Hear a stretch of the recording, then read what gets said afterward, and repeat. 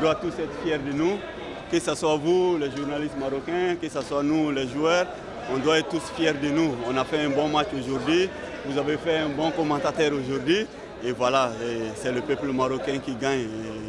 on doit être fiers de ce peuple. On a gagné une finale à domicile, c'est ça le plus important. Oui, le match retour, on va dire, on va tous voyager comme des commandos, comme des soldats, et voilà, pour aller défendre quoi? Le drapeau marocain, Inch'Allah. ميرسي اليوم تابعكم مباراة مصيرية في القاهرة يعني كيفاش كتشوف المساله الحمد لله مقابلة دازت في أجواء رائعة مقابلة نهائية. إن شاء الله كنوعدوا جماهير البركانية. كنشكرهم بعدا.